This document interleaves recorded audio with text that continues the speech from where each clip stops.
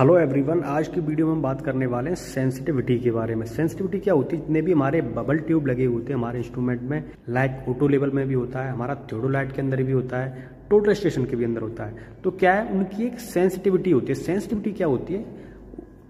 उसका जो एक डिवीज़न है, उसको ट्रेवल करने में हमारा बबल जितना टिल्ट हो रहा है, उससे हम उसकी सेंसिटिविटी बोलते हैं। जैसे ये बबल आप देख रहे हो, इसकी सेंसिटिविटी कितनी है? थर्टी सेकेंड इसका मतलब ये है कि जब इस बबल को हम लेवल करेंगे, इसे हम स्क्रू से ऊपर या नीचे उठाएँगे तो क्या है?